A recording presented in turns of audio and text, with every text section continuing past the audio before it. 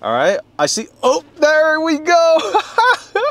Welcome to Car Scene Korea. I introduce newly released Genesis Hyundai and Kia cars. And you guys saw it from the thumbnail. We are finally getting wireless Apple CarPlay and Android Auto on Hyundai Kia cars. Well, starting here in Korea with a limited cars. And I am test driving this Hyundai all new Santa Fe 2024 year model. Well, I just got the news too, so I pulled out the cam real quick to show you what it essentially is like to have that wireless Apple CarPlay. It's not a rocket science, but it's something that we've been waiting for so long and I finally have it. I actually did end up spending an hour to get the setup and running because I had other people setting it up and up and running, but it just wouldn't work on my phone. But I figured out the reason why. Simply put, and I know I hate it when YouTubers hide all the essential information at the end of the video or in the middle of the video and so forth. So I'll give you the conclusion right now. Delete your setup on your iPhone and the car. If your phone has been connected with the wireless connection before,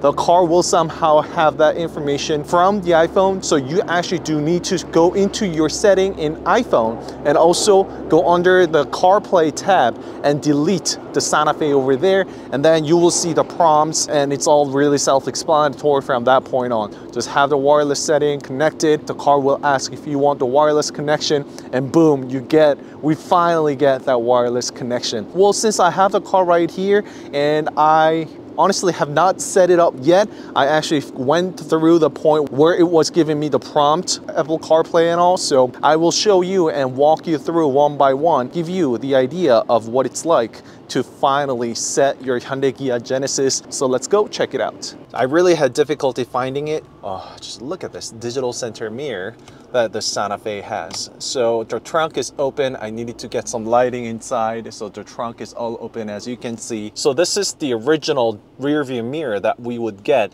but the digital center mirror provides much wider view, especially under the poor weather conditions and during the nighttime. I am including the footage right now. Just absolutely love it. This is the iPhone 14 Pro Max. I mean, it's not going to make any difference. Right here, you want to go to phone projection and it says, you see, Ed, have the Wi-Fi on just in case. Bluetooth settings, Santa Fe right here. So pair and it's asking me about the contacts allow it. And then it's being connected. And you see now here it says use Apple CarPlay CarPlay with Santa Fe right? And of course that's what we want. CarPlay automatically connected blah blah blah. This prompt you won't see if you have wire connected your phone before say goodbye to this cable. I've been using it all here. You see, uh, for your information, connect the wire here, press on that button for the wired Apple CarPlay connection and press it one more just for the charging only. And also for your information, Santa Fe has two wireless charging pads right here, but both of them, you can actually turn off the wireless charging feature if it's gonna get wet with your water bottle and all. All right, so I don't wanna lose it. Now the prompt is here, use CarPlay. And okay, this finally showed up saying that this is newly added iPhone, supports Apple CarPlay. And do I see any wireless menu? I don't, but you see, I don't have any wire connection, so it should be wireless connection. Again, as I have told you, it's my first time also finally being able to see this prompt, so fingers crossed, let's go. Yes. All right, I see, oh, no, oh, there we go. no wire, Apple CarPlay up and running. Oh my god, finally, yes! I, I spent an hour trying to set this up and running because I saw posts, videos. They were telling me that they got the wireless Apple CarPlay finally, but I just could never ever get it to run. And that, again, is exactly what it was. Make sure you make this iPhone forget the Apple CarPlay connection history by going into that menu, make it forget. So in your settings, type in CarPlay and you will see the lists of the cars that you have used the CarPlay before. So these things, remember if it was wireless or wired connection and connect it with your car, then we are good to go. Oh my God. So finally, and you will see, yes, the iPhone is now wirelessly connected. The music is up and running, no problem.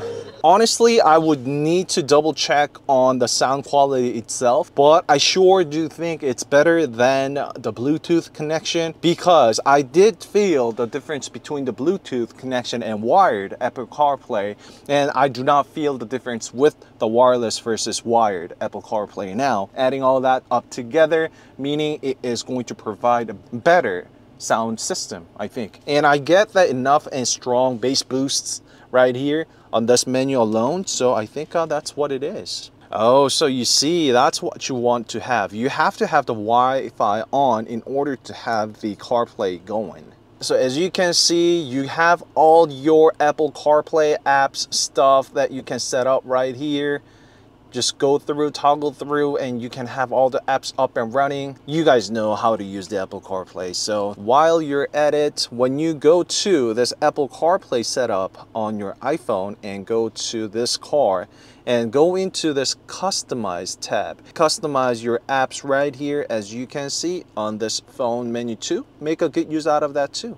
All right, so that is just simply it. Of course, I had to come up with this video, obviously, because finally we are getting the wireless Apple CarPlay on Santa Fe. Oh my God. So in other Hyundai cars to come as well.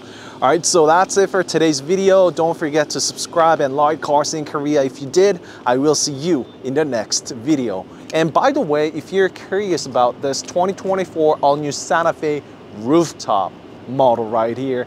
I actually have a video on it and I am here to make a comparison video with this Santa Fe to that of the Palisade. I actually do have the comparison, the size comparison video on the channel already, but people have been scolding me because I did not have the latest facelifted Santa Fe. All right, so that's it for today's video. If you have not checked out my review on this all new Santa Fe, make sure you go check it out because there is a detailed review of this car in and out, the interior, exterior, interior and also the POV drive comparison with Sorento, the latest 2024 Sorento as well as Palisade. And honestly, actually, I'm here to give you a, another side-by-side -side comparison video with Hyundai Palisade. That's it for today's video. Don't forget to subscribe and like Car Scene Korea if you did, and I will see you in the next video. Bye. Kudos to Hyundai Genesis Kia. We finally, finally get wireless connection in our cars? That actually is the question that I've been getting every single time I make a review on a brand new car. Is there a wireless connection, wireless Apple CarPlay, Android Auto, yada yada yada? I just had to say, like, not yet. Finally, it's here. As of 2023 November. All right, that's it. That really is it. I gotta go. Bye-bye.